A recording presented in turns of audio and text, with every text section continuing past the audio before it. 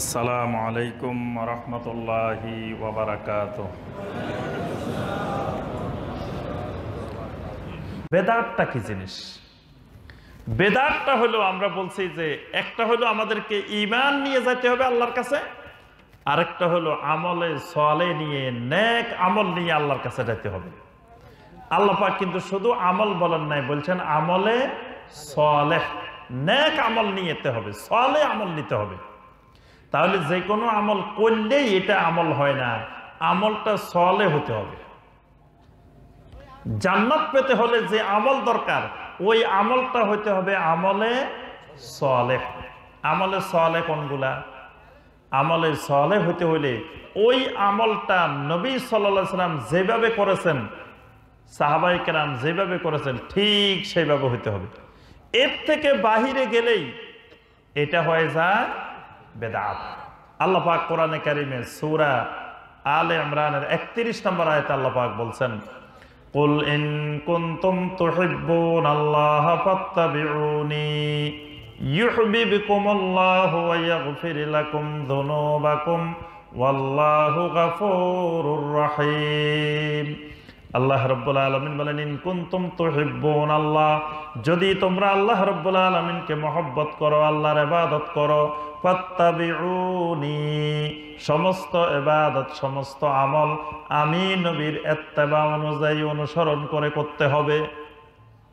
সকল আমল নবী সাল্লাহ সাল্লামের সুন্নত অনুযায়ী এত্তেবা করে, অনুসরণ করে করতে হবে। তাহলে ইউহিবকুমুল্লাহ আল্লাহ রব্বুল আলমিনও তোমাদেরকে মহব্বত করবেন।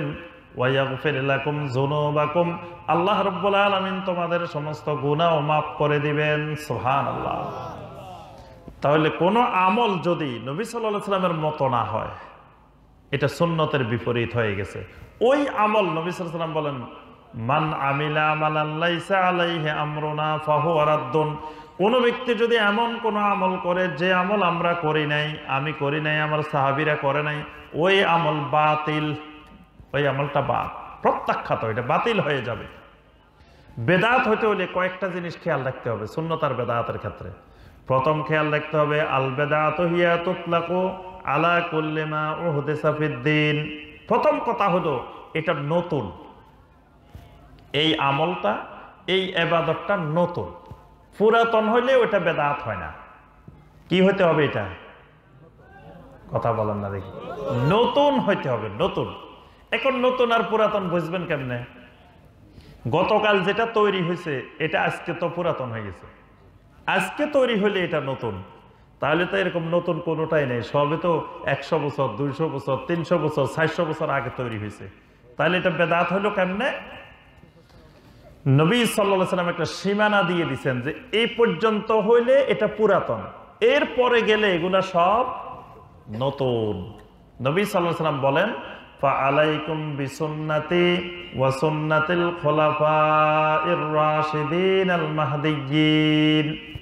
তোমাদের জন্য কর্তব্য হলো আমি নবীর সুন্নত এবং আমার খোলাফায় রাশেদিনের সুন্নত।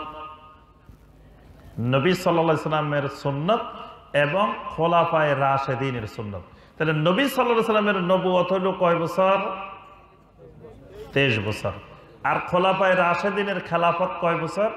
তিরিশ বছর। তিরিশ আর তেইশ। এই তেপ্পান্ন বছর হইল পুরাতন। এই তেপ্পান্ন বছরের ভিতরে যেই এবাদত যেরকম ছিল, এগুলা কেয়ামত পর্যন্ত সুন্নত। এই তেপ্পান্ন বছরের পরে যা আবিষ্কার হয়েছে, এখন চলে চোদ্দশো একচল্লিশ হিজড়ি এই চোদ্দশো একচল্লিশ থেকে তেপ্পান্ন বাদ দিলে তেরোশো আটাত্তর বছর প্রায়। এই এত বছর পর্যন্ত, এত বছরের ভিতরে যা আবিষ্কার হয়েছে, ওই তেপ্পান্ন বছর বাদ দিয়ে বাকি সবগুলার নাম হলো কি? বেদাত। এটা হলো প্রথম মূলনীতি। তাহলে তেপ্পান্ন বছরের ভিতরে যেগুলো দরুদ ছিল, এগুলা কেয়ামত পর্যন্ত দরুদ। তেপ্পান্ন বছরের পরে যেগুলো আবিষ্কার হয়েছে, এগুলা কেয়ামত পর্যন্ত দরুদ না, এগুলা বেদাতি দরুদ। একটা সুন্নতি দরুদ, একটা বেদাতি দরুদ। ওই তেপ্পান্ন বছরের ভিতরে যেগুলা দরুদ ছিল, এগুলা কেয়ামত পর্যন্ত সুন্নতি দরুদ। তেপ্পান্ন বছরের পরে যেগুলো, এগুলা হইল বেদাতি দরুদ। আচ্ছা এবার আপনি বাড়ির যাই অঙ্ক করে বাইর করে ফেলতে পারবেন, সব। বালাগাল বিকামালিহি বিজামালিহি। এই দরুদ আপনাদের এদিকে আছে না? এটা কোন যুগের আবিষ্কার? মাত্র কিছুদিন আগে, কয়েকশো বছর আগে, ইরানের একজন কবি শেখ সাদি তিনি এটা আবিষ্কার করছেন। তিনি একটা কবিতা লিখছেন এই কবিতা বাংলাদেশে এত কদর পাইছে, এটা বাংলাদেশে দরুদ হয়ে গেছে। দরুদ এক জিনিস, কবিতা এক জিনিস। দরুদটা হলো এবাদত। কবিতা এবাদত না। কবি আমিও হতে পারি, আপনিও হতে পারেন। আপনি বাড়িতে বসে বসে কবিতা লিখতে পারেন, আমিও লিখতে পারি, অসুবিধা নেই। যদি কবিতার মধ্যে কোনো সেরেক না থাকে, কুফর না থাকে, নাস্তিকতা না থাকে, অশ্লীলতা না থাকে, তাহলে কবিতা ভালো জিনিস। কবিতা আপনিও লিখতে পারেন, আমিও লিখতে পারি। কিন্তু কবিতাটা এবাদত না। কিন্তু যেটা এবাদত, এটা নবী সাল্লা সাল্লাম যেভাবে করেছেন, হুবহু কেয়ামত পর্যন্ত ওইভাবে করতে হবে। দরুদ হলে এবাদত।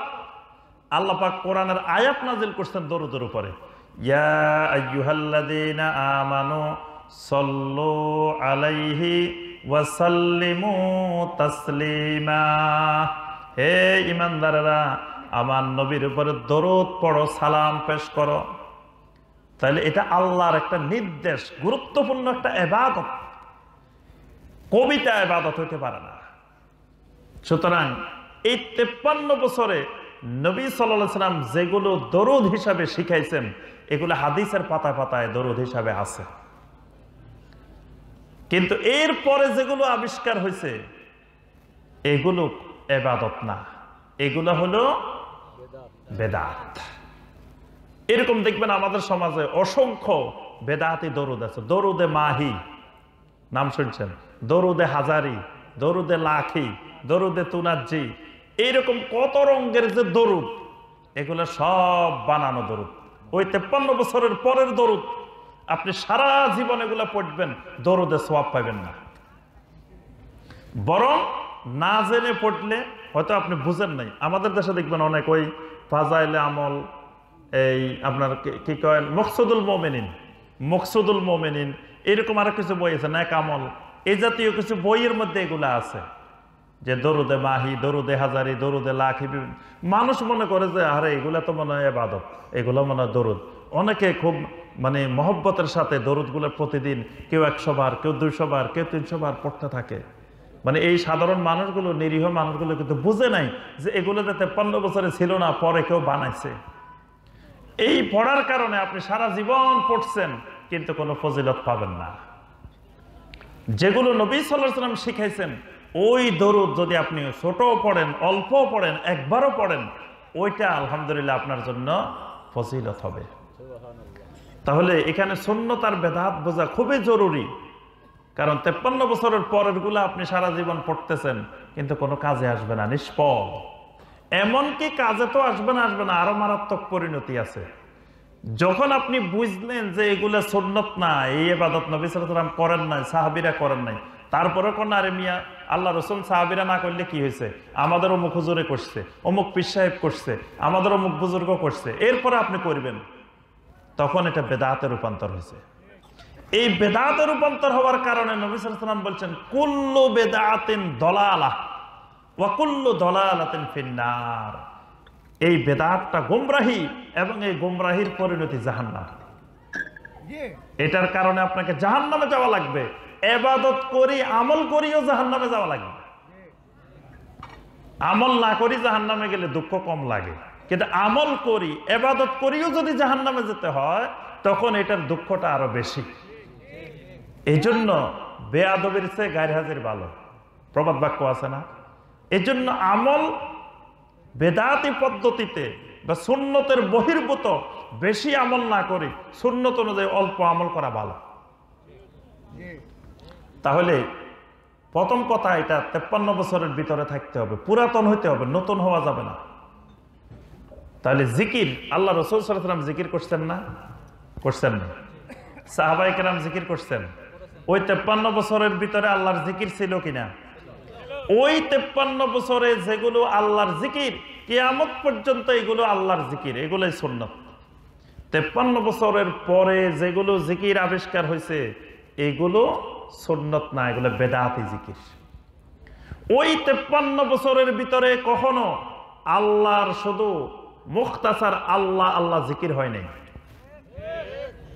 শাইখ উসাইমিন রহমাউল্লাহ মোহাম্মদ বিন সালে আল উসাইমিন রহমাউল্লাহ বলছেন, নবী সরসালাম সাহাবাই কেরাম তাবেইন তাবে তাবেইন ইমাম আবু রহমতুল্লাহ আলাই ইমাম শাহি রহমতুল্লাহ আলাই ইমাম মালিক, ইমাম আহমদ রহমতুল্লাহ আলাই তারা কেউ কখনো শুধু আল্লাহ আল্লাহ জিকির করেননি এই জন্য কোনো জায়গায় শুধু আল্লাহ লেখাটাও বেদাহাতে লেখা। মানে কোনো জায়গায় খালি কিচ্ছু লিখলেন না, খালি লিখলেন আল্লাহ। এটা আপনি আল্লাহর সাথে বেয়াদবি করছেন। যেমন মোহাম্মদ এই কথাটা শুনলে দরুদ পড়তে হয় সাল্লাহ আলাইহি ওয়াসাল্লাম। ঠিক আল্লাহকে একাকে রাখা যাবে না, আল্লাহর সাথে আল্লাহর একটা সিফাত ব্যবহার করতে হবে। শুধু আল্লাহ বললে এটা আল্লাহর সাথে বেয়াদবি হয়। নবী সাল্লাহ সাল্লাম মানে আল্লাহর মাখলুক, আল্লাহর গোলাম। তার নাম শুনলে যদি আমাকে আপনাকে সাল্লাহ সাল্লাম বলতে হয়, দরুদ বলতে হয়, তা আল্লাহর সাথে কিছু থাকবে না, উনি খালি আল্লাহ। আল্লাহর আগে অথবা আল্লাহর পরে একটা সিফাত থাকতে হবে। না হলে এটা আল্লাহর জিকির হবে না। এজন্য হয় বলতে হবে সোবাহান আল্লাহ আল্লাহর আগে সোবহান থাকতে হবে। অথবা বলতে হবে, আলহামদুলিল্লাহ। আল্লাহর আগে আলহামদু থাকতে হবে। বলতে হবে, আল্লাহ আকবার। আল্লাহর পরে আকবার থাকতে হবে। অথবা বলতে হবে ইল্লাল্লাহ। এইভাবে একটা পূর্ণাঙ্গ বাক্যের জিকির হবে। এজন্য এই লা ইলাহা ইল্লাল্লাহর জিকির সোবহান আল্লাহর জিকির, আলহামদুলিল্লাহর জিকির, আল্লাহ আকবরের জিকির, এটা ওই তেপ্পান্ন বছরের জিকির সুন্নতে জিকির। এরপরে আবিষ্কার হয়েছে, সাত আটশো বছর পরে আসি, আবিষ্কার হয়েছে আল্লাহ আল্লাহর জিকির, ইল্লাল্লাহ ইল্লাল্লাহর জিকির। এটা সুন্নতে জিকির না। তারপরের কথা হলো, জিকির হলো একাকী আবাদত, জিকির জামাতবদ্ধ আবাদত না। একাকী আবাদত জামাতে করা এটাও বেদাত জামাতের আবাদত একাকী করা এটাও বেদাত। যেমন ধরেন ফজরের নামাজ কয় রাকাত? দুই রাকাত। ফরজ সুন্নত আছে না? দুই রাকাত। তাহলে সুন্নত দুই রাকাত জামাতে পড়তে হয় না একাকে পড়তে হয়? ফরজ দুই রাকাত জামাতে পড়তে হয়। এখন যদি আমি বলি শুনেন আমি ঢাকা থেকে আসছি এত কষ্ট করে। আজকে ফজরের নামাজ পড়ামো। সুন্নত দুই রেখাতো আমার সাথে জামাতে পড়বেন। ফরজ দুই রেখাতো জামাতে পড়বেন। জামাতে পড়লে কি অসুবিধা আছে? জামাতে পড়লে তো স্বভাব বেশি। তো সুন্নত দুই রেখাতো আজকে আমরা জামাতে পড়ি। পড়া যাবে? যখন সুন্নত দুই রেখাত জামাতে পড়বেন সওয়াবের পরিবর্তে উল্টা গুণা হবে। কারণ নবী সাল্লাহ সাল্লাম এই দুই রেখাত সারা জীবন একাকি পড়ছেন। জামাতে পড়েন নাই। পরশ দুই রেখাত জামাতে পড়ছেন। তাহলে যেটা নবী সাল্লাহ সাল্লাম জামাতে পড়ছেন, ওইটাকে জামাতে পড়াই সুন্নত। ওইটাকে একাকি করা সুন্নতের বিপরীত, বেদাত। আবার যেটা একাকি পড়ছেন, এটাকে জামাতে পড়া, এটাও বেদাত। আল্লাহর জিকির হলো একাকি আবাদত এটাকে যদি জামাতবদ্ধ করেন, তখন এটা বেদাত। এখন আমি যদি বলি, আমার নেতৃত্বে সবাই মিলে আমরা আল্লাহর জিকির করি, আসেন। করা যাবে, করলে গুণা হবে। তখন আমি এটা জামাতে বানাই ফেললাম একজনের নেতৃত্বে। আল্লাহ আকবর, এই ব্যাপারে স্পষ্ট সহি হাদিস আছে। আবু মুসা আল আশআরি রাদি আল্লাহ তালানহু উনি এবং আবদুল্লাহ বিন মাসুদ রাদি আল্লাহ তালানহু ওনারা দুইজন কুফানগরীতে থাকতেন, ইরাকের কুফা নগরীতে। দুই সাহাবি, বড় বড় দুই সাহাবি, একজন আবদুল্লাহ ইবনে মাসুদ রাদি আল্লাহ তালানহু আরেকজনকে আবু মুসা আশারি রাদি আল্লাহ তালান আবদুল্লাহ বিন মাসুদ রাদি আল্লাহ তালানহু ওই এলাকার গভর্নর ছিলেন। আবু মুসা আশারি রাজি আল্লাহ তালানহু ওই এলাকার সবচেয়ে বড় আলেম ছিলেন ফকি ছিলেন, মুহাদ্দিস ছিলেন। সকালবেলা ফজরের নামাজে আব- মুসা আশারি রাদি আল্লাহ তালানহু ঢুকলেন মসজিদে।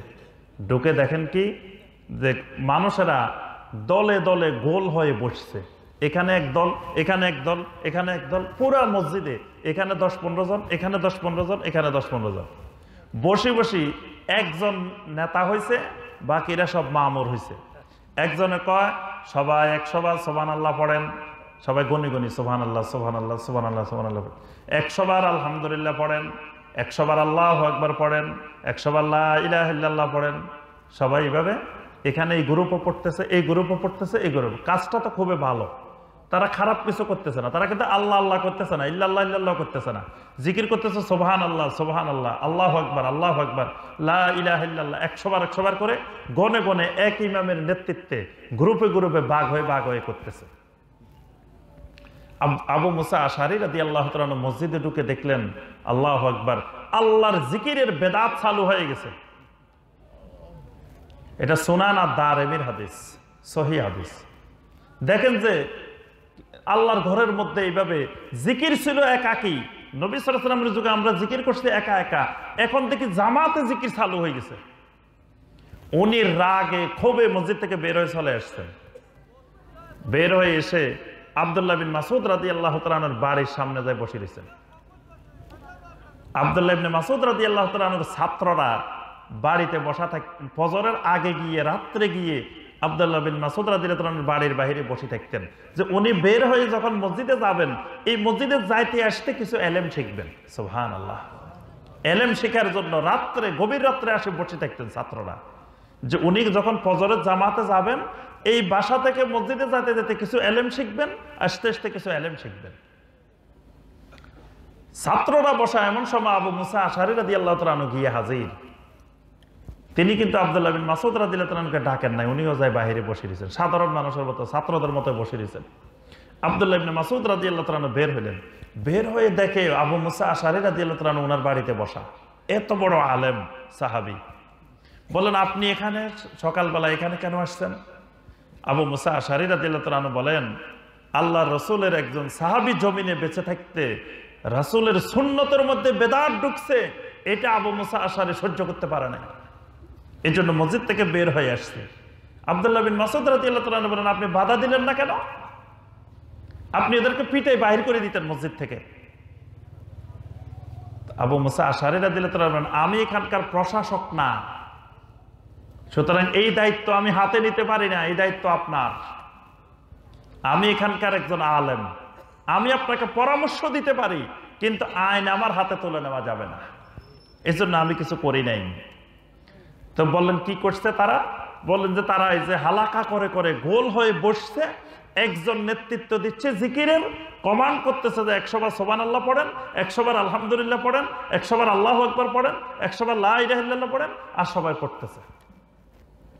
আবদুল্লাহ ইবনে মাসউদ রাদিয়াল্লাহু তাআলা মসজিদের মধ্যে গিয়ে বললেন, লাম তুবলা সিয়াবহু ওয়া লাম তুকসার আনিয়াতুহু।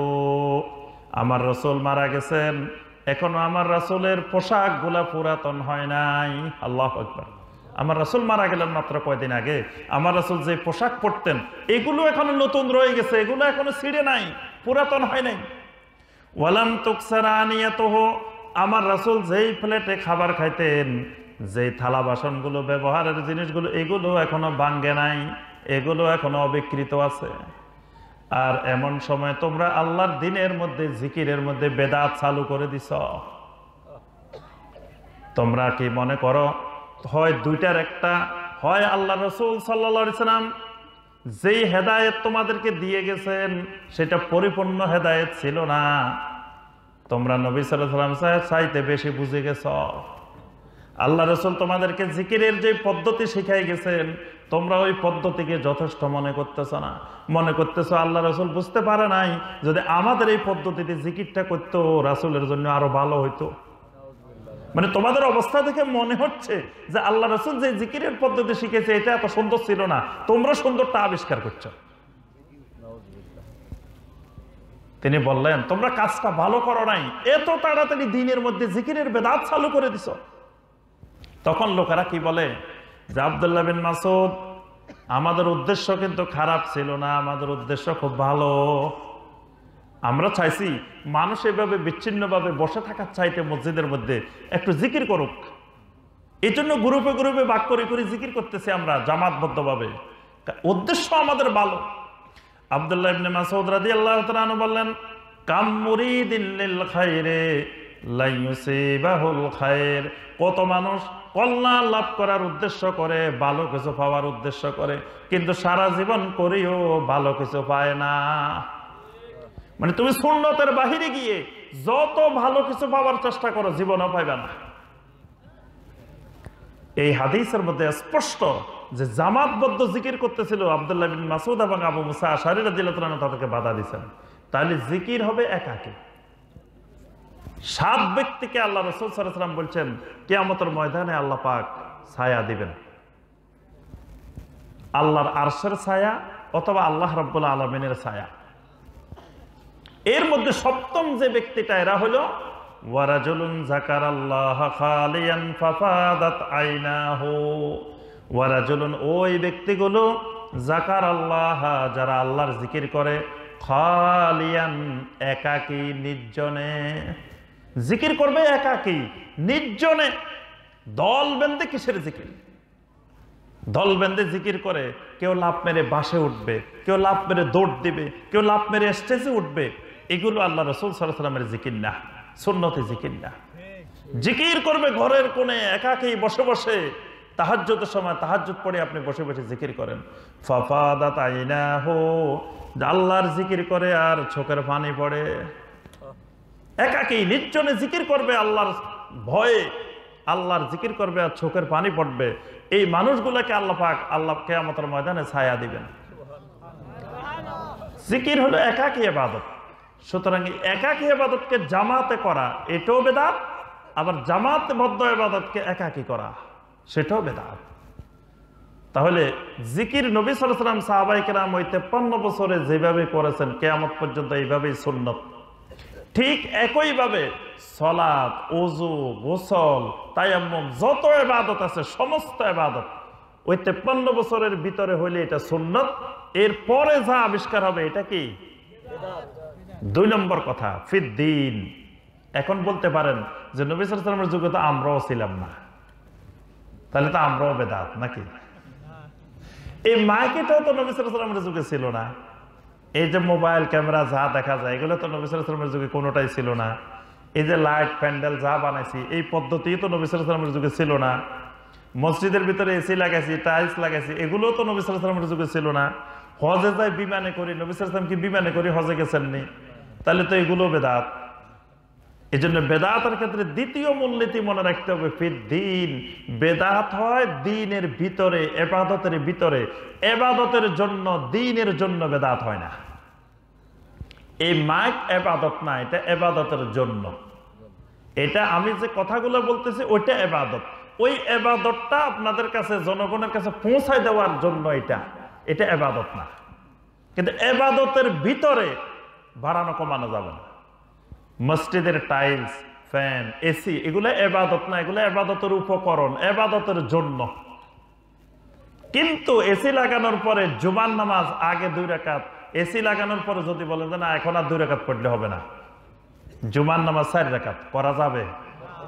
ওই কাঁচা মসজিদেও দুই রেখাত এসি লাগালেও দুই রেখাত ওখানে বাড়ানো, কমানো যাবে না। কিন্তু এসি ফ্যান টাইল যা লাগাবেন, এগুলো দিনের জন্য, নামাজের জন্য এগুলোর সাথে কোনো বেদাতের সম্পর্ক নেই। বিমানে যাই, যেটাই যাই, এটা হলো হজের জন্য, এটা হজের এবাদত না। কিন্তু বিমানে গেছি, এই জন্য তাওয়াব সাত চক্করের জায়গায় আট চক্কর করা যাবে না। যে আগে সাত চক্কর করতাম, এত কষ্ট করে। এখন যেহেতু বিমানে আসছি, এক চক্কর বেশি করি, করা যাবে না। অর্থাৎ মূল এবাদতের মধ্যে বাড়ানো যাবে না, কমানো যাবে না। কিন্তু এবাদতের জন্য বাড়ানো, কমানো যাবে। আমরা যে মাদ্রাসা, এই মাদ্রাসার পদ্ধতি নবিসের যুগে ছিল না। এটা দিনের জন্য করা হয়েছে। এটা দিনের ভিতরে না। দিনের ভিতরে কোনো বাড়ানো কমানো করলে ওটা বেদাত হয়। দিনের জন্য করলে বেদাত হয় না। তিন নম্বর মিম্মালা আসলালাহু বেদাতের কোনো দলিল থাকবে না। সুন্নতের দলিল থাকবে। বেদাতের কোনো? কেউ যদি কয়, মিয়া, এটা যে বেদাত দলিল দাও। কই পাইছ? কোন কিতাবে পাইছ? কোন হাদিসে পাইছ এটা বেদাত? বেদাতের কোনো দলিল নেই। দলিল নাই বলেই এটা বেদাত। যদি দলিল থাকতো, তাহলে এটা বেদাত হতো না, এটা সুন্নত হয়ে যেত। যদি আমি বলি যে, ভাই, শোনেন, এই যে সামনে সুন্দর একটা বাড়ি, এই বাড়িটা আমার না। আমি ঘোষণা দিলাম যে বাড়ি এটার মালিক আমি না। এখন আপনারা যদি বলেন যে, শায়েখ, আপনি যে বাড়ি এটার মালিক, আপনি না, বলছেন, দলিল দেখান। কাগজটা দেখান, কবলা দেখান। কোন কবলা মূলে, কোন ফসডা মূলে, কোন খতিয়ান মূলে, বাড়ি এটা আপনার না। কি বলেন? এটার কোনো দলিল? খতিয়ান ফসডা আমার কাছে আছে, কিছুই নেই। নাই বলে তো বাড়ি এটা আমার না। যদি আমারই হইতো, তাহলে তো সব থাকতো। এই বাড়ির মালিক যিনি ওনার কাছে দেখবেন যে খতিয়ান, কবলা, দলিল সব আছে। তাহলে যেটা বেদাত, এটার কোনো দলিল নেই। এই জন্য বেদাতের দলিল ছাওয়া যাবে না যে এটা যে বেদাত দলিল কই পাইছ? কোন হাদিসে পেয়েছ তা হাদিসে যদি থাকতো, তাহলে তার দলিলে এটা তো বেদাতে হইতো না। অনেকে বেদাত না বোঝার কারণে যখন আপনি আমি বলি যে এটা বেদাত ও এটা কোন হাদিসে পাইছো, কোন কিতাবে পাইছো, দলিল দেখাও। বেদাতের কোনো দলিল থাকবে না। চার নম্বর মনে রাখতে হবে, একই আমল, একই আবাদত, কোন এক জায়গায় করলে সন্ন্যত আর এক জায়গায় করলে বেদাত। কিন্তু বলা যাবে না যে কাজটা কি খারাপ নেই, এটা তো ভালো কাজেই। যেমন পাঁচ ওয়াক্ত নামাজে আমরা আজান দিই। আজান দেওয়া কি? সুন্নত। আজান দিলে গুণা হয়। আজান তো খুব ভালো কাজ, এবাদত। এখন যদি ঈদের নামাজে, জানাজার নামাজে আজান দিই, কি ঈদের নামাজে আজান হয়?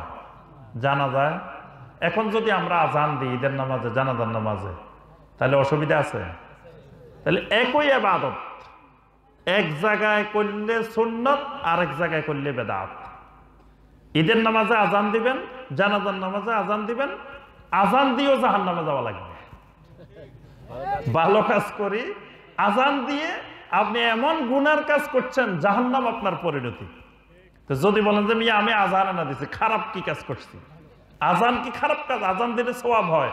নবী সাল্লাম বলছেন, মুয়াজ্জিনদেরকে আল্লাহ কিয়ামতের ময়দানে তাদের ঘাট লম্বা করে দিবেন।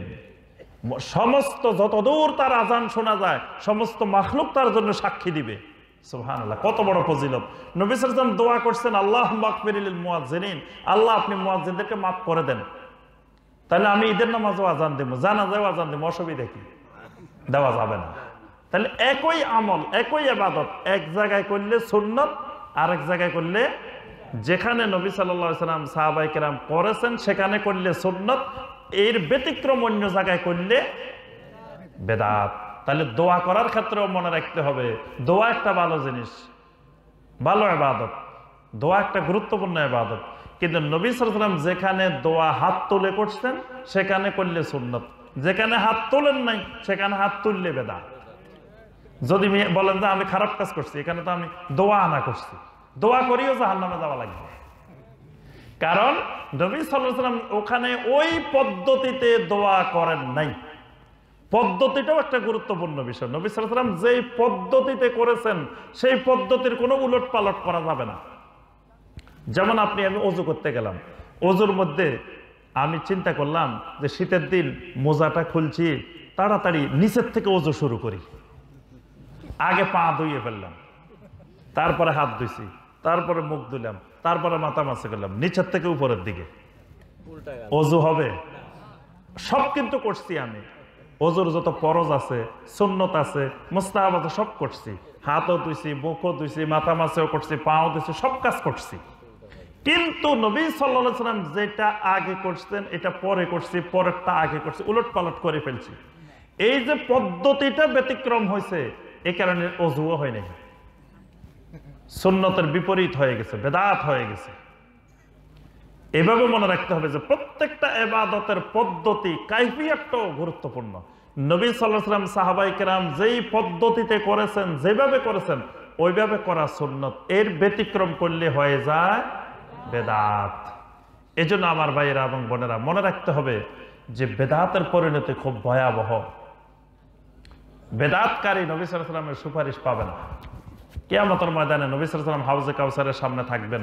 অনেক লোক দৌড়ায় দৌড়ায় হাউজে কাউসারের দিকে আসতে থাকবে। ফেরেস তারা বাধা দিবে। নবী সাল্লাম বলবেন হাউলা উম্মাতি হাউলা উম্মাতি, এদেরকে আসতে দাও আসতে দাও। কিন্তু নবী সাল্লাম ফেরেস তারা আসতে দিবে না। বলবেন যে ইন্দাকালা তাদরি মা আহাদাসু বাদাক। আপনি জানেন না, আপনি দুনিয়া থেকে আসার পরে এরা দিনের ভিতরে নতুন নতুন বেদাত তৈরি করছে। এই জন্য আমল যেটা করব এটা দেখে নিব, যাচাই বাছাই করে নিব।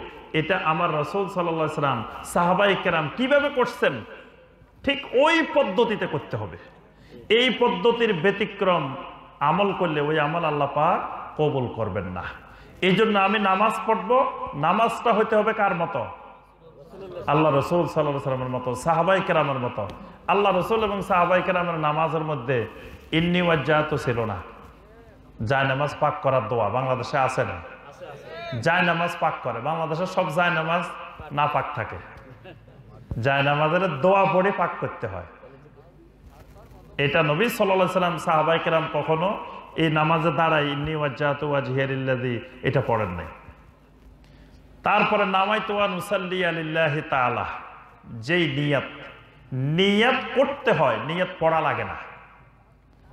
নিয়তটা করতে হয়। আবার কথা মনে করি না যে নিয়ত লাগে না। নিয়ত লাগে। কিন্তু নিয়তের পদ্ধতি হলো নিয়ত করতে হয়, নিয়ত পড়তে হয় না। কিন্তু আমরা নিয়ত পড়ি। আরবা। এই নিয়ত পড়তে পড়তে তাকবিরে উলা চলে যায়। অনেকে দেখবেন ইমাম সাহেব কেরাত শুরু করে দিছে, তাও উনি নিয়ত পড়তেছে। আবার অনেকে তাকবিরে তাহারিমে বেঁধে ফেলছে, আবার ভেঙে ফেলায়। কি ব্যাপার? কয়, সালাসার জায়গায় আরবা বলে ফেলছে। উল্টা পাল্টা হয়ে গেছে। অথবা পরজের জায়গায় সুন্নত বলে ফেলছে। অথবা কোনো এক জায়গায় গন্ডগোল হয়েছে। মুক্তবে গিয়ে বাচ্চারা এই নিয়তগুলো শিখতে শিখতে যে কষ্ট হয়, অথচ এই সময় তারা অনেক গুরুত্বপূর্ণ মাসনুন দোয়া শিখতে পারতো, জিকির আজকার শিখতে পারতো। কোরআন শেখাটা তার জন্য আরও সহজ হতো এই নিয়তগুলো সম্পূর্ণ বানানো। নবী সাল্লাহ সাল্লাম সাহাবাই কেরাম কখনো এরকম নাওয়াইতোয়ান এগুলো পড়েন নাই। আপনারা যে আজকে মাহফিলে আসছেন, নিয়ত করে আসছেন না পড়ে আসছেন? যদি পড়ে পড়েই আসতে হতো তাহলে আপনি বাড়ি থেকে বেরোয়ার সময় বলতে তো নাওয়াই তোয়ান আজহাবা ইলাল মাহফিল, এভাবে নিয়ত করে আসতে হতো না? কিন্তু আপনি তো নিয়ত পড়ে আসেন নাই। নিয়ত করে রওনা দিচ্ছেন মাহফিলে। আল্লাহ পাক আপনাকে পরিপূর্ণ সওয়াব দান করবেন। ঠিক নামাজের নিয়ত করতে হয়, নিয়ত পড়া লাগে না। এবং হানাফি মাঝহাবের কোন কিতাবে দেখবেন যে নিয়ত নাই। এই নামাইতে মুসাল্লিয়া এগুলা নাই। এগুলা আমাদের এই উপমহাদেশে এক সময় ওই বাংলা যে বইগুলো লেখা হয়েছিল, এই বইগুলোর মধ্যে এগুলো লিখে দিছে। এই কারণে এগুলো সমাজে প্রচলিত হয়ে গেছে। তারপরে আপনার অজুর মধ্যে অজুর নিয়ত, তারপরে অজুর দোয়া এরকম দেখবেন অনেক আমল, প্রত্যেকটা এবাদতের মধ্যে, আমলের মধ্যে অসংখ্য এরকম বেদাত ঢুকে গেছে, নতুন নতুন জিনিস ঢুকে গেছে। এগুলো দেখা গেছে এই যে জিকিরের নামে, খতমের নামে, খতম আছে না আপনাদের দেশে? বড় খতম, ছোট খতম, মাঝারি খতম, তারপরে আপনার এই খতমে শেফা, খতমে নারিয়া, অমুক খতম, কত রকমের খতম, এগুলো সব বানানো লা ইলাহা ইল্লা আনতা সুবহানাকা ইন্নী কুনতু মিনাজ জালিমিন এটা পড়েন, সওয়াব হবে। বিপদ আপদে পড়ছেন, এটা পড়েন। কিন্তু এটাকে এত লক্ষবার করলে এই ফজিলত, এই সওয়াব, এটা নবী আলাইহি সাল্লাম এইভাবে বলেন নাই। কিন্তু এটাকে সিস্টেম বানাই নেওয়া, যে এইভাবে পড়লে বিপদ আপদ দূর হয়, এইভাবে পড়লে এই হয়, এগুলো সুন্নতের খেলাফ, বেদাত। এইভাবে কবজ জিয়ারতের মধ্যে কবজ জিয়ারতের দোয়া বাদ দিয়ে কোরআন তালাবাত কয় এক, তিনবার সুরা পাতেয়া পড়েন দশ বার সুরা এখলাস পড়েন এগারো বার দরজ শরীফ পড়েন কবজ জেয়ারত। অথচ নবী সাল্লাহ সাল্লাম সাহাবাইকেরাম কখনো এই পদ্ধতিতে কবর জিয়ারত করেন নাই। কবজ জিয়ারতের দোয়া পড়ছেন। আসসালামু আলাইকুম দারা কওমি মুমিনিন ওয়া ইন্না ইনশাআল্লাহু বিকুম লাহিকুন। ইয়ারহামুল্লাহুল মুস্তাকদিমিন মিন্না ওয়া মিনকুমুল মুস্তাখিরিন। নাসআলুল্লাহ লানা ওয়া লাকুমুল আফিয়া। দেখবেন এখনও মক্কা মদিনাতে কবরস্থানে এই দোয়াগুলো সুন্দর করে লেখা আছে। নবী সাল্লাল্লাহু আলাইহি ওয়াসাল্লাম যে দোয়াগুলো পড়তেন। কিন্তু বাংলাদেশের নিরানব্বই ভাগ মুসলমান এই দোয়াগুলো জানে না। সুন্নত বিলুপ্ত হয়ে গেলে কোনো জায়গা থেকে সেই জায়গায় একটা বেদাত এসে জায়গা দখল করে। এই জন্য সুন্নত যেখানে হারিয়ে গেছে, সেখানে বেদাত ওই জায়গাটা খালি নেই, ওই জায়গাটা বেদাতে এসে দখল করে। এই জন্য আমার সম্মানিত ভাই বোনের, আলোচনা আর দীর্ঘায়িত করব না। তো আমরা মোটামুটি প্রাথমিক কিছু ধারণা দেওয়ার চেষ্টা করেছি যে শিরিক কি জিনিস, বেদাত কি জিনিস। এই দুটার ভয়াবহতা এত মারাত্মক সেই বিষয়ে একটু ইঙ্গিত করেছি। আল্লাহ রব্বুল আলমিন আমাদের সবাইকে সমস্ত প্রকার শির্ক এবং বেদাত থেকে বেঁচে থাকার আল্লাপাক তৌফিক দান করুন। আমাদের সবাইকে আল্লাপাক সেরেক মুক্ত তৌহিদ ইমান এবং বেদাত মুক্ত সুন্নতি আমল নসিব করুন। আল্লাহ রব্বুল আলমিন আজকের এই মাহফিলকে কবল ও মঞ্জুর করে নিন। এই মাহফিল সফল ও সার্থক করার জন্য যত ভাই বোন শারীরিক, মানসিক, আর্থিক সহযোগিতা করেছেন, আল্লাহ পাক সকলের খেদমতকে কবল ও মঞ্জুর করে নিন। প্রশ্ন আছে।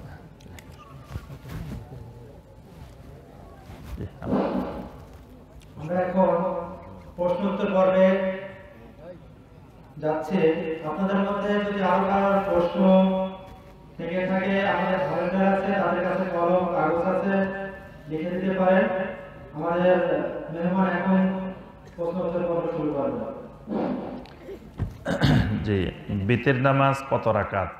তারাবির নামাজ কত রাকাত? সহি হাদিস দ্বারা ব্যাখ্যা দিবেন। মিলাদ পড়া কি যাবে? একজনে তিনটা প্রশ্ন করেছেন। প্রথম কথা হলো বিতির নামাজ, রাকাত সংখ্যা এক, তিন, পাঁচ, সাত, নয়, এগারো। অর্থাৎ নবী সাল্লাহ আলহি ওয়াসাল্লাম সলাতুল বিতিরকে সবসময় একই সংখ্যায় পড়েন নাই। কখনো এক রাকাত পড়ছেন, কখনো তিন রাকাত পড়ছেন, কখনো পাঁচ, কখনো সাত, কখনো নয়, কখনো এগারো রাকাত পর্যন্ত পড়ছেন। এজন্য হাদিসে বিতির, সলাতুল বিতির এক থেকে এগারো রাকাত পর্যন্ত পাওয়া যায়। আচ্ছা তারাবির নামাজ কত রাকাত? সহি হাদিস দ্বারা ব্যাখ্যা দিবেন। তারাবির নামাজ বলতে কোনো নামাজই নেই। রাকাত আমরা পাবো কই? হ্যাঁ, তারাবির সলাদ হাদিসে নবী সালামের যুগে তারাবি নামে কোনো সলাদ ছিল না। নবী সালামের যুগে ছিল কেয়ামুল্লাইল কেয়ামে রমাদান। এই জন্য হাদিসে আসছে মান কম রমাদান ইমান গুফের আলাহু মা তাকাদ্দামা মিন জাম্বিহি। যে ব্যক্তি ইমান এবং এহতেসাবের সাথে কেয়ামে রমাদান করবে, আল্লাহ পাক তার অতীতের সমস্ত গুনাহ মাফ করে দিবেন। অর্থাৎ এটা কেয়ামুল লাইল, সলাতুল লাইল সলাতুল তাহাজ্জুদ, কেয়াম রমাদান, এগুলো সব এক সলাত তো রমজান বাদে অন্য সময় করলে এটার নাম কেয়ামুল লাইল, সলাতুল লাইল। এটার নাম সলাতুল তাহাজ্জুদ। আর রমজান মাসে এটার নাম হলো কেয়ামে রমাদান। মানে রমাদান মাসের কেয়াম। তো এটার রাকাত সংখ্যা কেয়ামে রমাদান কত রাকাত? এটা সরাসরি হাদিসে আসে না। কিন্তু কেয়ামুল লাইলটা হাদিসে আসছে যে নবী সাল্লা সাল্লাম এগারো রাকাত আদায় করতেন। অর্থাৎ রাত্রিবেলার সলাৎ, রাত্রিকালীন নবী সাল্লামের সলাৎ ছিল এগারো রাকাত। আম্মা জানা আশারা দিলে তারা বলছেন, নবী সাল্লাম রমাদানেও এগারো রাকাত পড়তেন গায়ের রমাদানেও এগারো রাকাত পড়তেন। এর থেকে নবী সাল্লাম বাড়াইতেন না। তবে নবী সাল্লামের রাকাতগুলো ছিল অনেক লম্বা, অনেক দীর্ঘ, অনেক সুন্দর। আর সলাতুত তারাবির রাকাত সংখ্যা, এটা পরবর্তীতে সালাফে সালেহিনেরা এটাকে নাম দিয়েছেন সলাতুত তারাবি কারণ কি? যে এই সলাদটা ধীরে ধীরে আস্তে আস্তে বিশ্রামের সাথে পড়তে হয়। এই জন্য এটা বিশ্রামের সলাৎ হিসাবে পরিচিতি লাভ করেছে। এই জন্য আমরা রমজান মাসে এটাকে বলে থাকি সলাতুত তারাবি। সলাতুত তারাবির রাকাত সংখ্যার ব্যাপারে অনেক হাদিস পাওয়া যায়। সেই হাদিসগুলোতে আট টাকার থেকে শুরু করে চল্লিশ টাকাত পর্যন্ত হাদিস পাওয়া যায়। শাইখুল ইসলাম ইমাম ইবনে তাইমিয়া রহমতুল্লাহ তিনি সবগুলো হাদিসকে একত্রিত করেছেন। আট টাকাত দশ টাকাত বারো রাকাত, তারপরে আঠারো রাকাত, বিশ টাকাত বাইশ টাকাত ছত্রিশ টাকাত আটত্রিশ টাকাত চল্লিশ টাকাত এই হাদিসগুলোর মধ্যে আবার মান নিয়ে অনেক কথাবার্তা আছে। কোনোটা সহি, কোনোটা দরিব কোনোটা হাসান, বিভিন্ন রকম আছে। এই সবগুলো মিলাইলে মূল কথা, মূল বক্তব্য যেটা, যে সলাত তারাবিটা কোনো রাকাতের মধ্যে সীমাবদ্ধ নয়। এটা ফরজ না, এটা একটা সুন্নত সলাত এটা যে যত রাকাত পারে। আর সব মানুষের পক্ষে মানে বেশি আদায় করা, একই পরিমাণ আদায় করা এটা সম্ভব না।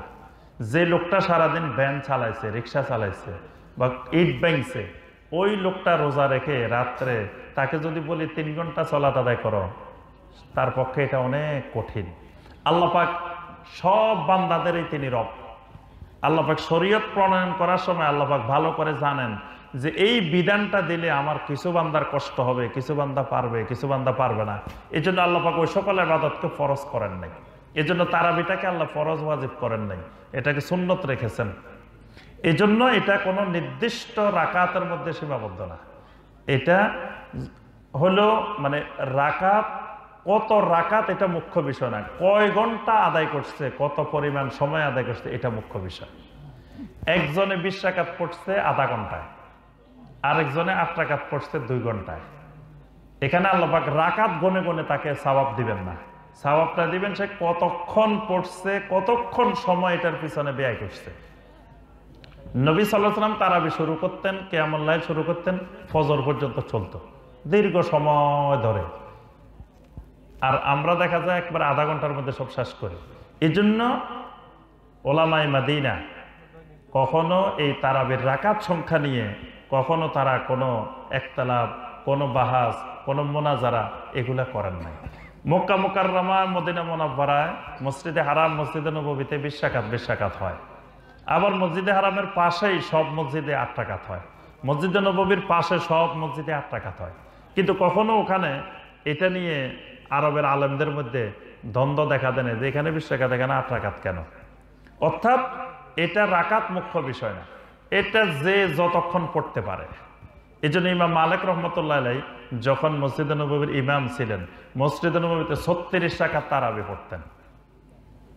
তাহলে যদি এটা বাড়ানো না যাইতো, তাহলে ওনারা আট টাকাতের পরে, বিশ টাকাতের পরে ছত্রিশ টাকাত পর্যন্ত পড়ছেন তখন ওনার পিছনে অনেক তাবেইনেরাও সলাত আদায় করতেন। উনি ছিলেন তাবে তাবেইন।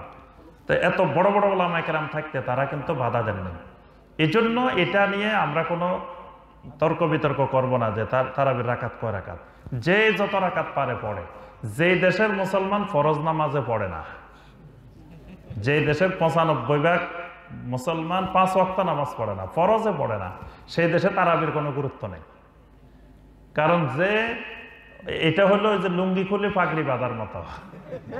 যে বেশি ফজিলতের জন্য একবারে লুঙ্গি খুলে পাগড়ি বান্ধি ফেলছে। যে দেশে ফরজ নামাজে পড়ে না ফরজ নামাজ না পড়লে জাহান নামে যাবে, কিন্তু তারাবি না পড়লে কেউ জাহান নামে যাবে না। তারাবি না পড়লে রোজারও কোনো ক্ষতি হবে না। কারণ এটা ফরজ না, ওয়াজিব না। কিন্তু ইচ্ছা করে ছেড়ে দেওয়া যাবে না, তাহলে একটা সুন্নতের প্রতি অবজ্ঞা হবে। এই জন্য এটা রাকাত সংখ্যা এত গুরুত্বপূর্ণ বিষয় না। মূল বিষয় রমাদানে কেয়াম করা মিলাদ পড়া কি যাবে? মিলাদ পড়া যাবে। সেটা যদি মিলাদ হয়, মিলাদ শরীয়তে নিষিদ্ধ না। মিলাদ মানে নবী সাল্লা ইসলামের জন্ম বৃত্তান্ত। কোরআনে কারিমে নবী সাল্লামের জন্ম সম্পর্কে অনেকগুলো আয়াত আছে। হাদিসে, সহি হাদিসে নবী সাল্লামের জন্ম সম্পর্কে অনেকগুলো হাদিস আছে। কোনো ব্যক্তি যদি এই আয়াতগুলো, হাদিসগুলো আলোচনা করে, লোকেরা শুনে, তাহলে এই মিলাদে কোনো অসুবিধা নাই, এটা সওয়াবের কাজ, এটা ফজিলতের কাজ। কিন্তু আমাদের দেশে মিলাদের নামে যেটা, এটা মিলাদো না না। এটা হলো বানানো একটা জগা খিচুড়ি জিনিস। এটা মিলাদো না এটা দরুদও না যদি মিলাদ হয়, তাও সওয়াব হবে। যদি দরুদ হয়, তাও সওয়াব হবে। কিন্তু এটা মিলাদের আওতাভুক্তও না, দরুদের আওতাভুক্তও না। কারণ এখানে কিছু কবিতা পড়া হয়। বিভিন্ন কবির কিছু কবিতা। বিভিন্ন বানানো কিছু দরুদ পড়া হয়। তো এগুলা দরুদের আওতায়ও পড়ে নাই, মিলাদের আওতায়ও পড়ে নাই। এজন্য জন্য এগুলা পড়লে কোনো স্বভাব হবে না, বরং এগুলা বেদাত এগুলা না পড়াটাই একজন মুমিন এটা থেকে দূরে থাকবে। সুরা পাতেয়া পড়ার পরে আমিন আসতে বলবে না, জোরে বলবে। এটা কোনো গুরুত্বপূর্ণ বিষয় না, আমিন জোরে বলা, আসতে বলা।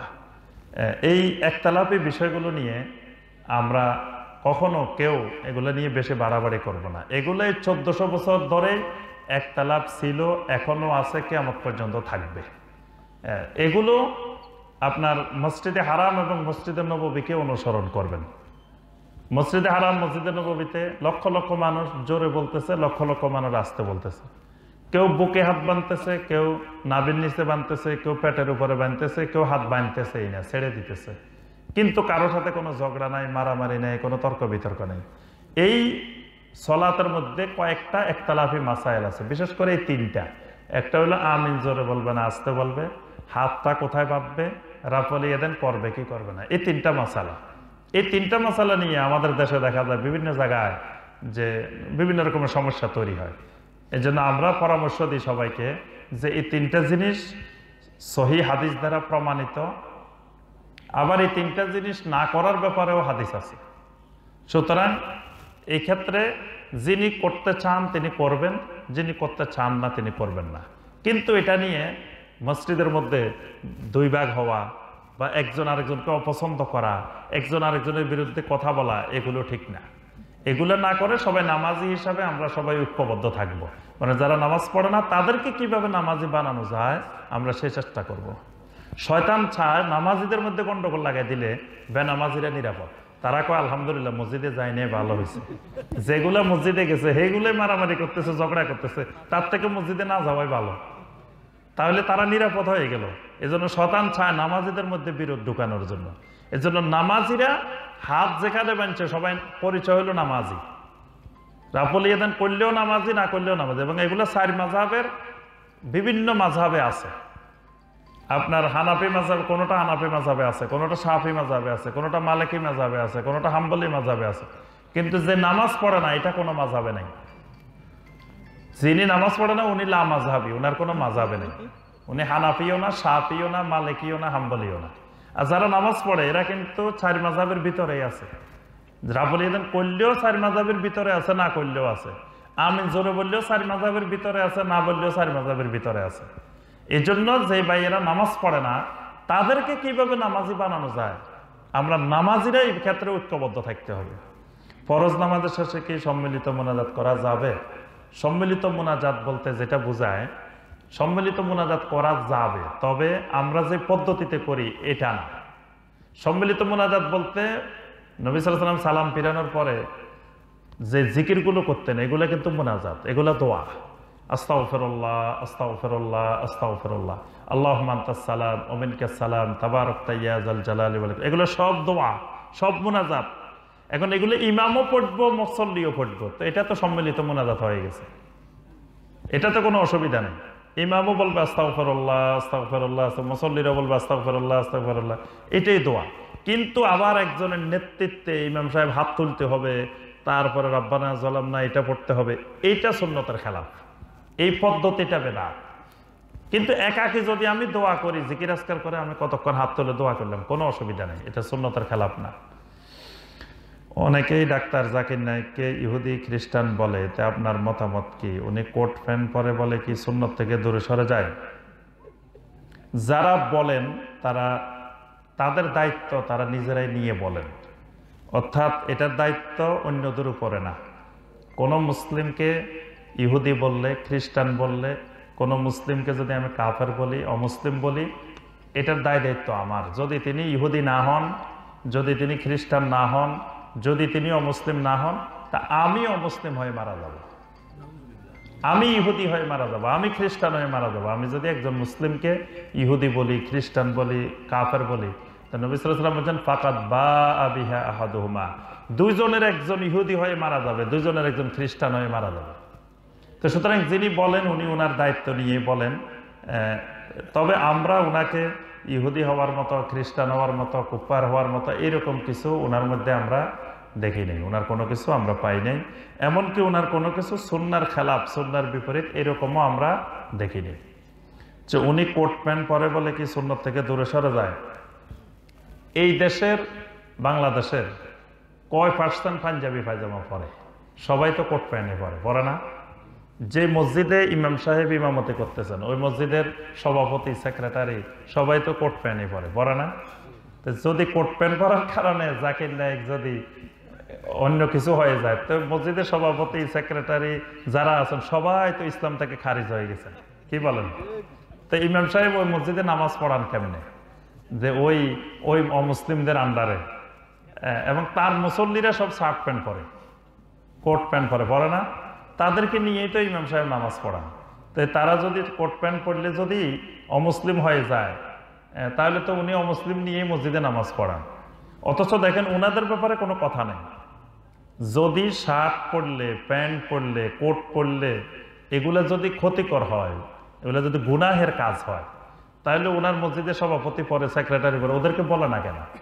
যে আপনারা এত বড় গুনার কাজ করতেছেন, খবরদার ছাড়েন, পাঞ্জাবি পায়জামা পরেন? এগুলো ইহুদির পোশাকও না খ্রিস্টানের পোশাকও না শার্ট, প্যান্ট, কোট, এগুলো হলো আদাত।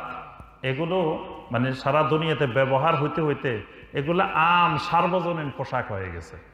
এগুলা পড়লে কোনো গুণা হবে না। তবে এমন পড়া যাবে না যে পড়ার দ্বারা সতর প্রকাশ পায়, সতর দেখা যায় বা অশ্লীল, এরকম পড়া যাবে না। উত্তম হলো কোনো ব্যক্তির যে যাতে সতর দেখা না যায়, সতর প্রকাশ না পায়, ঢিলে ডালা এবং কিছু নীতিমালা আছে। নবী সালাম কিছু নীতিমালা দিয়েছেন, টাকনোর উপরে হইতে হবে, মুশ্রিকদের, অমুসলিমদের ধর্মীয় পোশাকের সাথে সাদৃশ্য রাখা যাবে না। এইরকম না করে কেউ যদি পরে এগুলাতে গুনাহের কিছু নাই। মৃত মানুষের কবরে সোয়াব পৌঁছানোর উপায় কি? উপায় হলো বেশি বেশি দোয়া করা, সদাকা করা। মাইয়াতের ওয়ারিস যারা, তারা সদাকা করবে। আর আম জনগণ মাইয়াতের জন্য সবাই দোয়া করবে। নামাজে হাত বাঁধার সঠিক নিয়ম কি? হাত বাঁধার নিয়ম অনেকগুলো আছে। তন্মধ্য থেকে সবচেয়ে বিশুদ্ধ, যেটা সবচেয়ে আসাহ মানে বেশি সহি, সেটা হলো জেরায়ের উপরে হাত রাখা। মানে জেরা হলো এই জায়গাটা, এই জায়গার উপরে হাত রাখা। এই জায়গার উপরে হাত রাখলে হাত যেখানে আসে, সেখানে রাখবে। এটা হলো সবচেয়ে মানে বিশুদ্ধ নিয়ম। সুদের শাস্তি সম্পর্কে একটু বলুন। সুদের শাস্তি তো অনেক মারাত্মক। অসংখ্য আয়াত আছে, অসংখ্য হাদিস আছে। তোর মধ্যে সবচেয়ে কঠিন হলো আল্লাপাক তিনটা গুণার ব্যাপারে স্থায়ী জাহান্নামের কথা বলছেন। তোর মধ্যে একটা গুণা হলো সুদ। আল্লাপাক বলছে, যারা সুদ খায়, আয়াত নাজিলের পরেও, তো ফাউলাইকে আসহাবুন নারে হুম ফিহা খালিদুন। এরা স্থায়ীভাবে জাহান্নামে যাবে। মুমিনকে আল্লাপাক স্থায়ী জাহান্নামের কথা বলেন নাই। কিন্তু এই অপরাধগুলো এত মারাত্মক এগুলোর ব্যাপারে স্থায়ী জাহান্নামের কথা বলছেন। আমাদের দেশে দেখা যায় সিমের মাছায় বারণ জুলাই এটা কি? হ্যাঁ। জি জি এগুলো শির্ক এগুলো শির্কের বিভিন্ন মাধ্যম। কারণ এগুলো যখন জুলায় তার অর্থ হইল যে কেউ যদি বদনজর লাগায় মুখ দোষ লাগায় তাহলে এগুলো প্রতিহত করবে। এই আকিদা এবং শিশুদের এখানে কালো টিপ লাগায়। আপনাদের দেশে লাগায়নি? হ্যাঁ, এটাও শির্ক যে এটা দিয়েছে এই জন্য যে যাতে কেউ মুখ লাগাইতে না পারে, কেউ বদনজর দিতে না পারে। এটা বদনজর প্রতিহত করতে পারে না। ওই ঝাড়ু লাগাইলে এগুলো বদনজর প্রতিহত করতে পারে না। এগুলোকে যদি বদনজর প্রতিহতের ক্ষমতা আছে, এটা মনে করা হয়, তখন এটা শির্ক হয়। মানুষ মারা গেলে মাটি দেওয়ার সময় কি বলতে হয়? মাটি দেওয়ার সময় বলতে হবে বিসমিল্লাহ। বিসমিল্লাহ বলে মাটি এক মুঠ নিয়ে আপনি দিয়ে দিবেন। আমাদের দেশে প্রচলিত আছে, মিনহা খালাক না কুম ওয়াফিহা নুঈদুকুম ওয়া মিনহা নুখরিজুকুম তারাতান উখরা। কয়, একটা নেওয়ার সময় বলবা, মিনহা খালাক না কুম আরেকটা বলবা ওয়াফিহা নুঈদুকুম। আরেকটা বলবা, ওয়া মিনহা নুখরিজুকুম তারাতান উখরা। এটা কোরআনে কারিমের আয়াত। কিন্তু আয়াত বলে যে যে কোনো জায়গায় লাগাই দেওয়া যাবে, এটা ঠিক না। এই ব্যাপারে সহি কোনো হাদিস নেই। সুতরাং বিসমিল্লা বলে মাটি দেওয়া হবে, আর মসজিদের পাশে কবর দেওয়া যাবে কি না মসজিদের পাশে যদি কবরস্থান থাকে, তো মসজিদ থেকে কবরস্থানকে আলাদা করে দিতে হবে। মাঝখানে একটা ওয়াল দিয়ে দিতে হবে। আর মসজিদের পাশে দেওয়ার মধ্যে কোনো ফজিলত নেই। মসজিদ থেকে এক মাইল দূরে দিলে যেই কথা, মসজিদের সাথে লাগাই দিলেও একই কথা। অনেকে মনে করে মসজিদের পাশে দিলে মনে হয় মসজিদের আজান শুনব। মসজিদের ইমাম সাহেবের নামাজ শুনবে। মাইয়াত কোনো কিছু দুনিয়া থেকে শুনে না। আল্লাহ পাক বলছেন ইন্নাকালা তুসমি উল মাওতা আপনি কোনো মাইয়াতকে শুনাইতে পারবেন না। মাইয়াত শুনে না। আর যে সকল হাদিসে বলা হয়েছে যে মাইয়াত জুতার পায়ে শব্দ শুনে, এটা শুনে, এগুলো হলো বারজাখে জীবনের শোনা। এই জন্য মাইয়াত এখানে কোনো আজান বা নামাজ এগুলো কিছু শুনবে না। সেজদায় সহুর সহি নিয়ম জানতে চাই। সেজদায় সহুর সহি নিয়ম হলো আত্মাহিয়াত দরুদ দোয়ায় মাসুরা শেষ করার পরে দুই দিকে সালাম ফিরাই, দুইটা সাজদা দিবে। অথবা দুইটা সাজদা দিয়ে তারপরে সালাম ফিরাবে। এটাই হলো সাজদায় সাহর সঠিক নিয়ম। সবে বরাত, সবে মেরাদ ঈদে মিলাদুল নবী সাল্লাহ ইসলাম পালন করা যাবে কি না? এগুলো যে তিনটা বলছেন, এই তিনোটাই এগুলো পালন করা যাবে না। এগুলো কোনো পালন করার বিষয় না। সবে বরাত সবে বরাত হলো ফার্সি শব্দ। এটার আরবি করলে হয় লাইলাতুল কদর। মানে যারা সবে বরাত পালন করে যে সকল ভাইয়েরা ওনাদেরকে জিজ্ঞাসা করবেন যে সবে বরাতের আরবিটা করে দিন, এটা তো ফার্সি। আর ইসলাম এসেছে আরবি থেকে। ফার্সি হইলেও ফার্সির একটা আরবি থাকতে হবে। ওই আরবিটা কোরআন হাদিসে পাওয়া যাইতে হবে। যেমন ধরেন নামাজ নামাজ ফার্সি, এটার আরবি আছে। আরবি আছে না? আরবিটা হলো সলাৎ, কোরআন হাদিসে সলাৎ আছে। আমরা রোজা বলি, রোজাটা ফার্সি, কিন্তু এটার আরবি আছে, সিয়াম। তো ঠিক সবে বরাতের আরবি লাগবে তো। আরবিটা কি? দেখবেন যে কেউ বলবে যে লাইলাতুল বারাত। তো বরাত শব্দটাই ফার্সি বরাত শব্দটা আরবি না। বরাতের আরবি করেন বরাতের আরবি কি? হ্যাঁ, অর্থাৎ এটার আরবি হলো লাইলাতুল কদর। লাইলাতুল কদরটা রমজান মাসে এটা সাবান মাসে না। আর লাইলাতুল নাসবে মিন শাবান শাবানের মধ্যবর্তী রাত্রিতে এটা পালন করার কোনো জিনিস না। এই রাত্রিতে সেরেক মুক্ত হওয়া হিংসা মুক্ত হয়ে ঘুমায় থাকা এটাই হলো এবাদত। সুতরাং এটার পালন করার কিছু নাই। আর সবে মেরাজ, নবী সালাম মেরাজে গেছেন, এটা ঠিক আছে, কিন্তু এটা পালন করার কোনো বিষয় না। নবী সালাম মেরাজ থেকে আসার পরে কোনোদিন এই মেরাজের দিন রোজাও রাখেন নাই, অনুষ্ঠানও করেন নাই, ওয়াজ নসিহত করেন নাই। ঈদ এ মিলাদ নবী সালাম পালন করা যাবে কিনা? ঈদ হলো মুসলিমের দুইটা। ঈদ উল পিতর ঈদ উল আজহা এর বাহিরে তৃতীয় কোনো ঈদ বানাইলে সেটা বেদাত, সেটা গুনাহের কাজ। মসজিদ, মাজারে মান্নত করা যাবে কিনা? মসজিদে মান্নত করা যাবে মানে আল্লাহর জন্য মান্নত হবে। তা আল্লাহর ঘরে দেওয়া যাবে, কিন্তু মাজারে দেওয়া যাবে না। কারণ মাজার কি আল্লাহর ঘর? নবীর ঘর। কারও ঘর না এটা। মাজারটা হলো একটা কবর। তো কবরের জন্য মান্নত কেন? ওনার কি দরকার? যিনি মারা গেছেন ওনার কি কোনো কিছুর দরকার আছে? উনি তো খানও না। উনি পানও করেন না। ওনার টাকার দরকার নাই, পয়সার দরকার নাই, কিছুর দরকার নেই। উনি মারা গেছেন, দুনিয়া থেকে চলে গেছেন। সুতরাং ওনার জন্য কোনো কিছু মান্নত করা যাবে না। করলে সেটা শির্ক হবে। রোগ মুক্তির আশা তাবিজ ব্যবহার করা যাবে কিনা? না, এটা ব্যবহার করলে শির্ক হবে। আল্লাহ নিরাকার, তিনি সর্বত্র বিরাজমান, সঠিক কিনা? না, এই আকিদাটা ভুল। এটা আমাদের সমাজে বহুদিন ধরে প্রচলিত হয়ে গেছে যে আল্লাহ নিরাকার, তিনি সব জায়গায় বিরাজমান। আল্লাহ নিরাকার নন। আল্লাহ রব্বুল্লা আলমিনের আকার আছে। তবে এই আকারটা কেমন এটা আমরা জানি না, এটা একমাত্র আল্লাহ রব্বুল্লা আলমিনই জানেন। তবে আল্লাহর আকারের বর্ণনা আল্লাহ দিচ্ছেন যেগুলো যেভাবে দিচ্ছেন আমাদের কাজ হলো খালি এভাবেই মেনা না। এর বাইরে কি রকম, কি আকৃতি, এগুলো আল্লাহ জানেন, আমরা জানি না। আর আল্লাহ সর্বত্র বিরাজমান, ঠিক কিনা আল্লাহ সব জায়গায় বিরাজমান না। আল্লাহ সুবান তালা আল্লাহর এলেম সব জায়গায় বিরাজমান। আল্লাহর কুদরত, আল্লাহর ক্ষমতা, এগুলো সর্বত্র বিরাজমান। কিন্তু আল্লাহ রব্বুল্লা আলমিন নিজে সত্তাগতভাবে, নিজে জাতিভাবে, সশরীরে সব জায়গায় বিরাজমান না। কিন্তু তার এলেন তার হুকুম, তার কুদরত, এগুলো সর্বত্র বিরাজমান। তিন রাকাত বিতির সরাত পড়ার সহি নিয়ম জানাবেন। তিন রাকাত বিতির পড়তে হইলে দুই রাকাত পড়ার পরে সালাম ফিরে ফেলবে। তারপরে আরেক রাকাত পড়বে। অথবা মাঝখানে না বসে একসাথে একটানা তিন রাকাত পড়বেন। রমজান মাসে মসজিদে হারাম এবং মসজিদে নবীর বিতিরটা দেখবেন। এখন তো বাংলাদেশে ঘরে বসে দেখা যায়। এটা দেখলে বুঝতে পারবেন যে বিতিরটার সহি পদ্ধতি কীভাবে পড়তে হয়, তিন রাকাত বিতির ফরজ সলাৎ একজনে এতগুলো প্রশ্ন করলে প্রশ্ন সব দেওয়া যাবে না আমরা। জি। ফরজ সলাৎ ঈদের সলাৎ জানাজা সলাতের পরে সম্মিলিত মোনাজাত করা যাবে কিনা, সহি নিয়ম জানাবে না, এগুলোর পরে সম্মিলিত মোনাজাত করা যাবে না।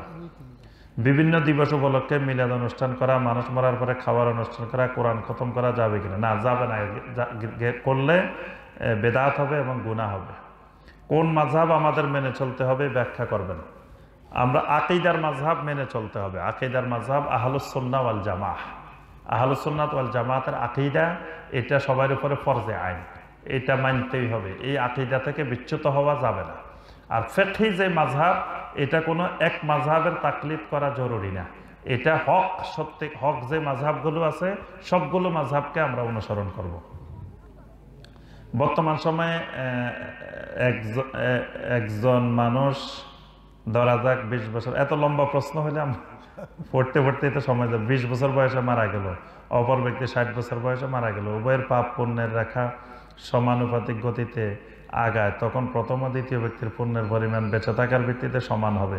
যে বুঝতে পারছি, এটা হলো এই প্রশ্নটাই মানে কারও মনে যদি আসে, তো বুঝতে হবে ওনার রোগ হয়েছে, ওনার ইমানি রোগ, রোগের সমস্যা।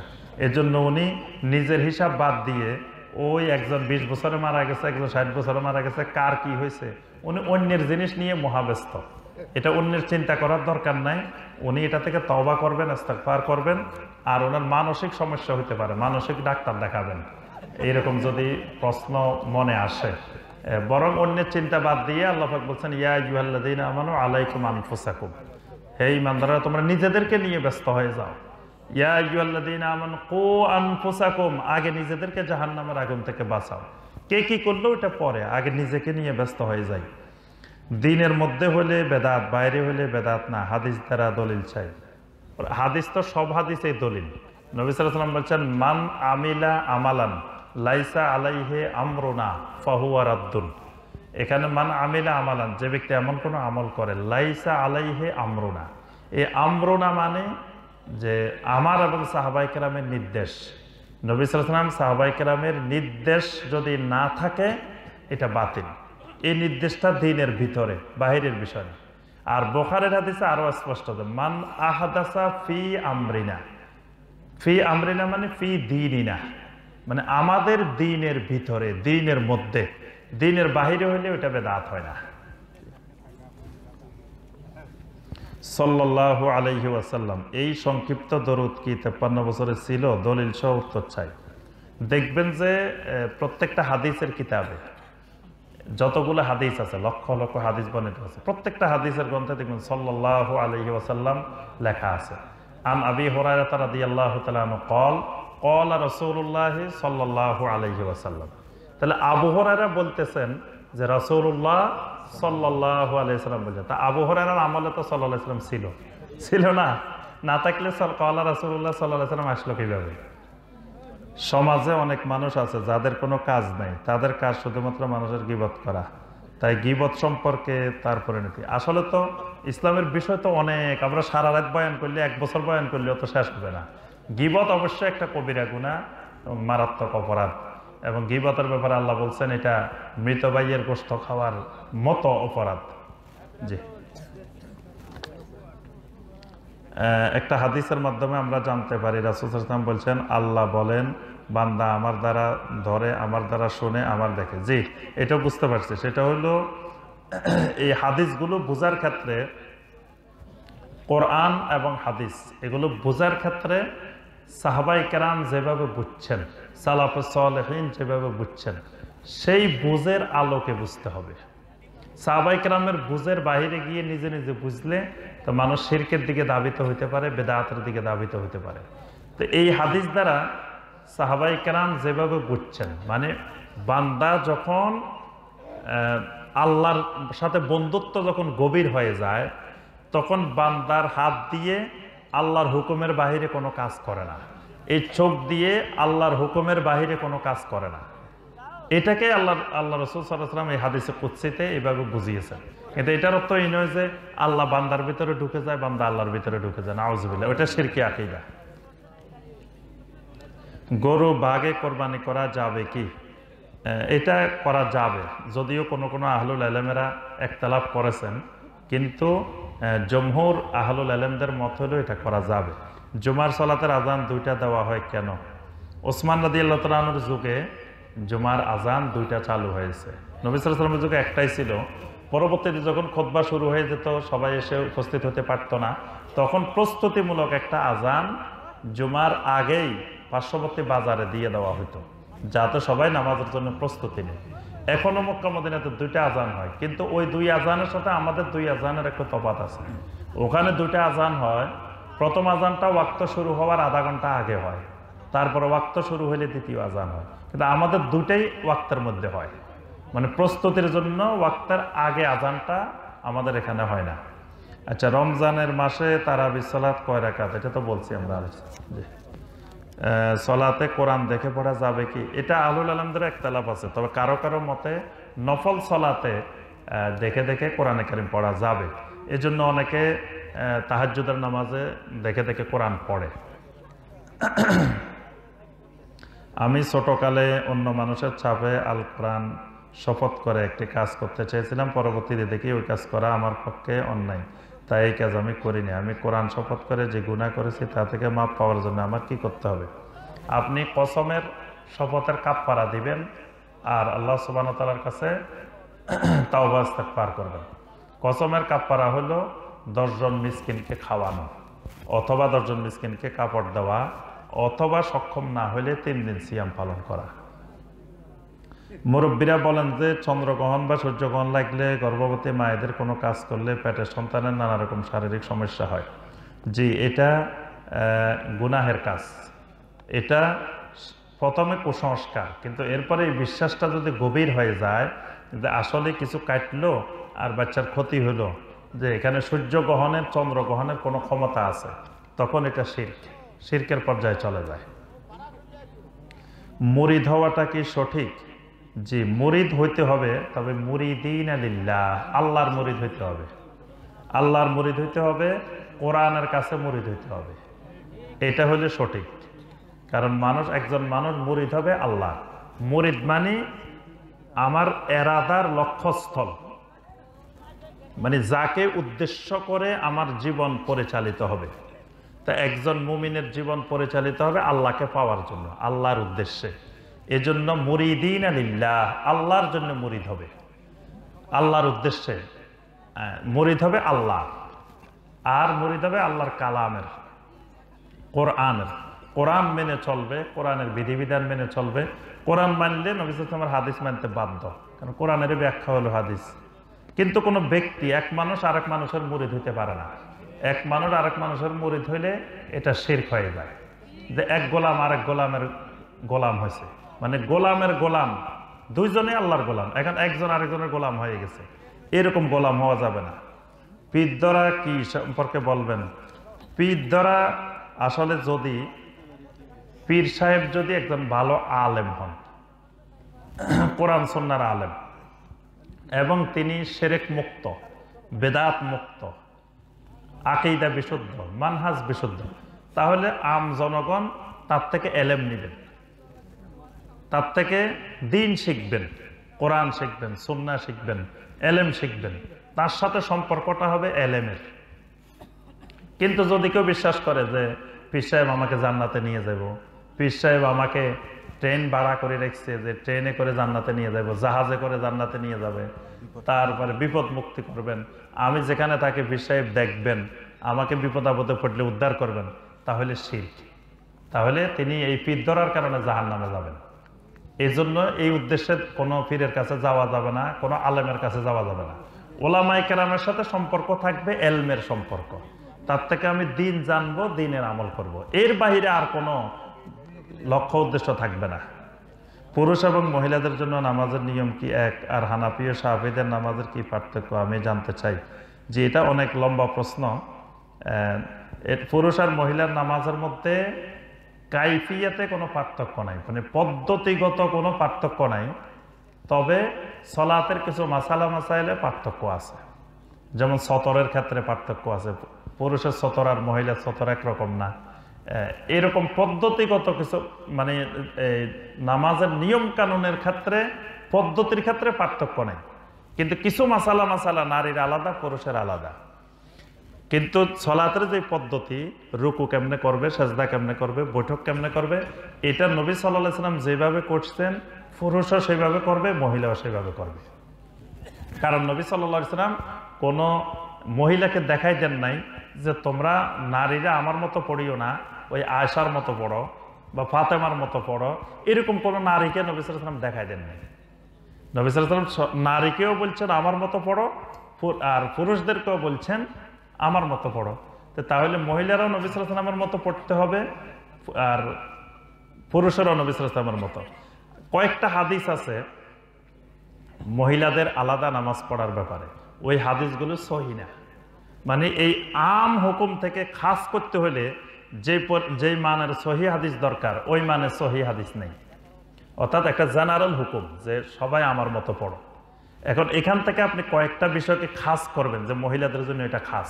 তখন এমন হাদিস লাগবে যেটা এটার মতো, এই নির্দেশটার মতো স্ট্রং না হয় কারোর জন্য খাস করা যাবে না।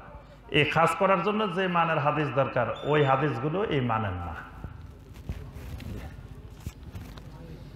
মহিলারা মসজিদে এসে জামাতে নামাজ পড়তে পারবে কি? মহিলাদের যদি আলাদা পর্দা সহকারে সুন্দর ব্যবস্থাপনা থাকে তাহলে মহিলাদের মসজিদে এসে নামাজ পড়তে শরীয়তে কোনো বাধা নেই। যদি তাদের রাস্তা নিরাপদ হয়, কোনো অশ্লীলতার, কোনো খারাপ কিছুর সম্ভাবনা না থাকে, মসজিদের ভিতরেও পর্দা সহকারে ব্যবস্থাপনা থাকে, তাহলে তারা মসজিদে এসে পড়তে পারে। তবে তাদের জন্য জামাতে নামাজ পড়া ওয়াজিব না।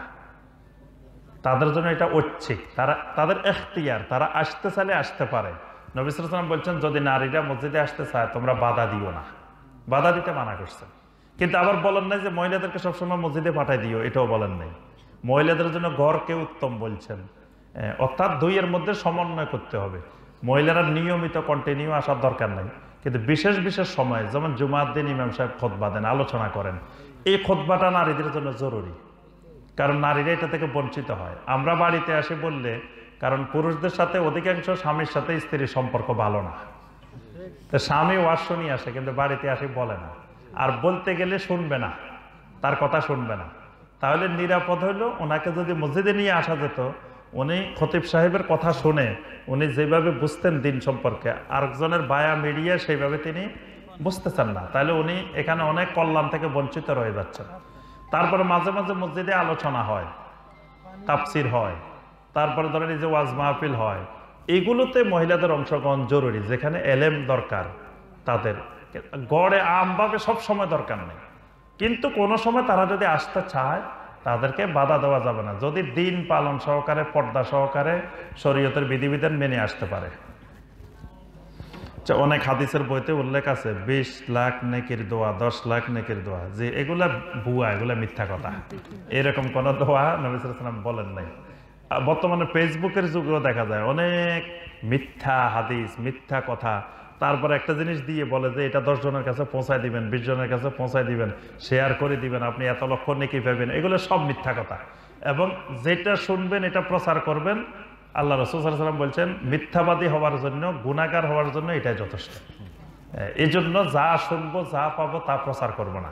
এটা দেখে শুনে এটার দলিল খুঁজে অথেন্টিক কিনা, মূল ইয়াতে দলিল, হাদিসে আছে কিনা, তারপরে দেওয়ার চেষ্টা করব যে রাত অনেক হয়ে গেছে, তো আলহামদুলিল্লাহ এই শীতের রজনীতেও যে এত রাত্রিতে, এতক্ষণ পর্যন্ত আমরা দিনের কিছু কথাবার্তা শুনছি, আল্লাহ রব্বুল্লাহ আলমিন আমাদের এই আজকের এই মাহফিলকে কবল মঞ্জুর করে নিন।